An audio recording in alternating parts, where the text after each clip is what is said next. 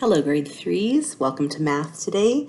So here are the answers to your homework questions. 15 divided by 3 equals 5.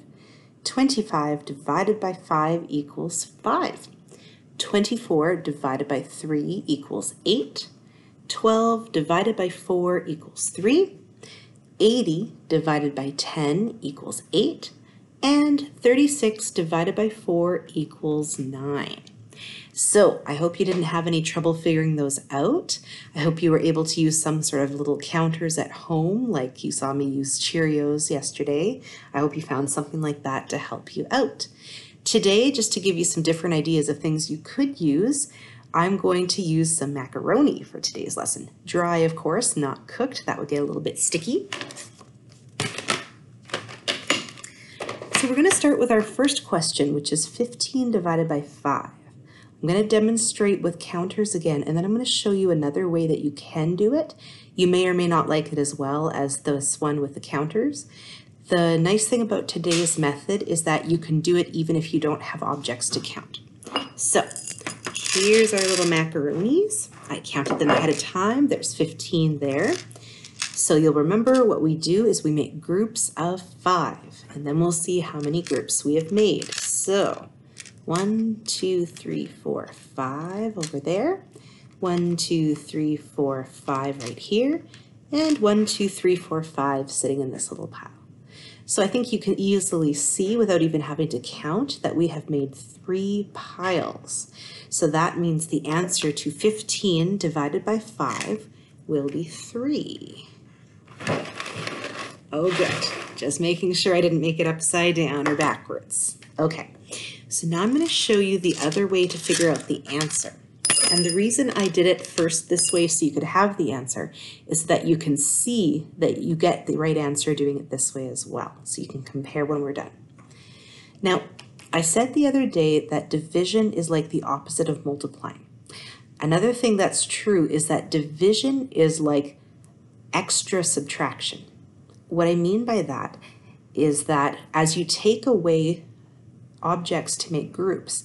It's sort of like you're subtracting several different times in order to figure out how many groups you have.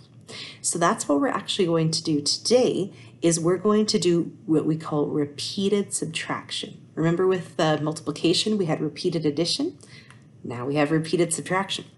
So here's how it works. We start with our first number here, which is 15. And we are just going to subtract 5 until we get to 0. Okay? So 15 divided by, or sorry, subtract 5 equals, so 15 take away 5 equals 10.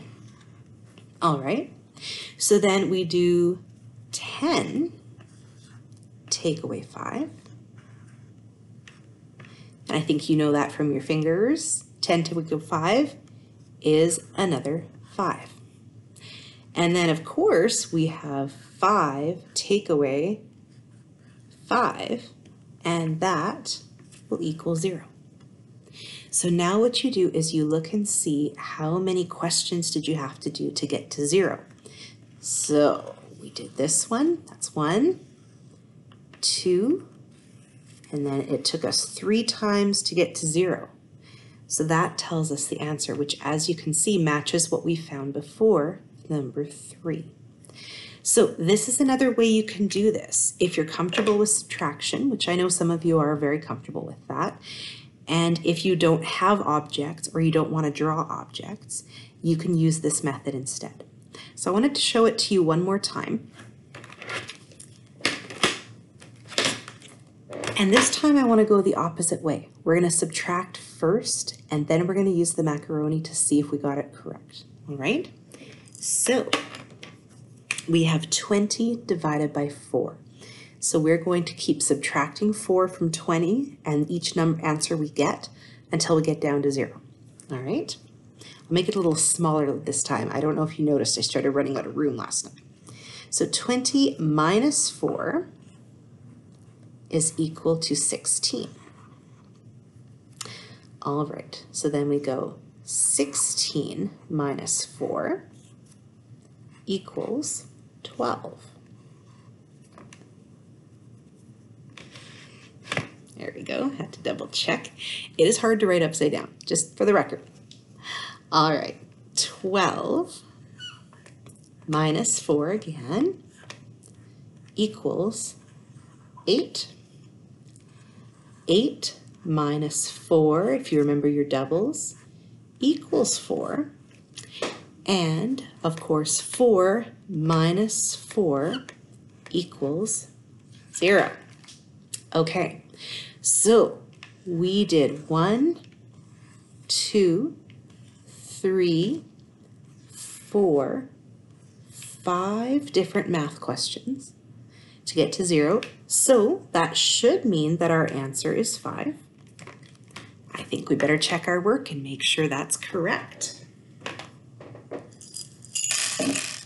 All right, let's take a look here and see. We've got two, four, six, eight, 10, 12, 14, 16, 18, 20, just making sure. And we're dividing by four, which means that I need to put them in groups of four. There we go, four. There's another four. There we go. Okay, I have my groups of four. Let's see. One, two, three, four. How about that? We have five groups. So use whichever method makes the most sense to you right now. All right, either way is a good way to do it. They both have their benefits and drawbacks.